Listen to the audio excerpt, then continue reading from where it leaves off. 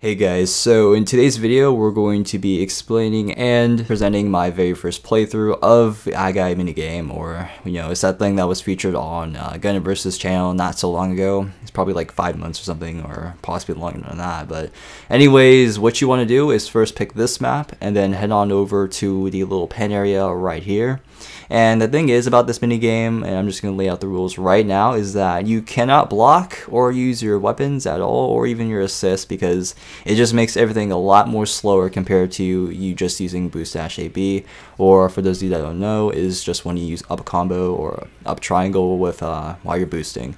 So yeah, pretty much all you want to do is boost dash uh, AB the entire time, and you know get your burst meter up.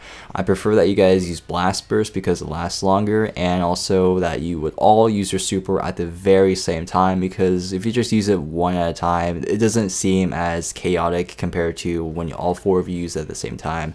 Like the first time we did it it was so fucking hilarious and funny.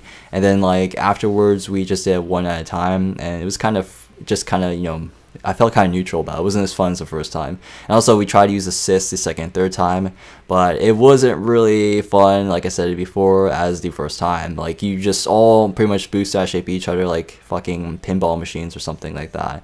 And just like when you get your bursts, like half burst or full burst, uh, preferably half burst, you all send out your super at this very same amount of time. And there's like uh, like 12 Acguys running around, stuff like that. It's freaking hilarious.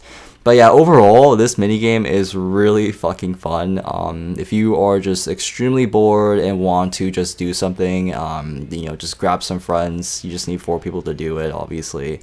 And yeah, just play some pinball Acguys. So yeah, guys, that's just about it for this video. I just wanted to share this really funny ass minigame that I didn't expect to have that much fun with, but honestly, this mini game is pretty fucking hilarious, and I recommend that you all try it. So yeah, as usual, please leave a like if you enjoyed the video, and also share with your friends so that you can all have a pretty good time.